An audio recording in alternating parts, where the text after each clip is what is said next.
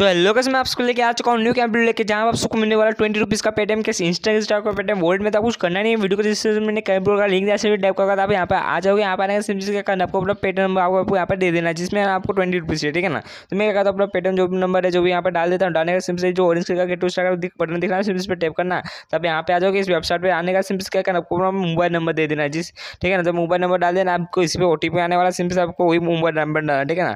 तो अपना mobile number डालने रजिस्ट्रेशन पर क्लिक करोगे तो आप यहाँ पे आ जाओगे यहाँ पर आने का सिम का करना आपको एक पासवर्ड क्रिएट कर लेना है, ठीक है ना? तो जिस, क्योंकि आपको यहाँ पे एक पासवर्ड क्रिएट कर लेना है तो मैं आपको एक पासवर्ड क्रिएट कर लेता हूँ। आपको ये पासवर्ड याद रखना है फिर से आपको उसको लॉगिन करना पड़ेगा, ठीक है ना? तब मैं पासवर्ड डाल देता डालने सिम से ओ आएगा तो सिम में ओ यहाँ पे डाल देता डालने रजिस्ट्रेशन पर क्लिक कर दूँगा। तो जैसे क्लिक करूँगा तो आपको सामने कुछ इस टाइप का इंटरफेस आ जाएगा आपको सिम से ओके पे टैप कर देना है, ठीक है ना?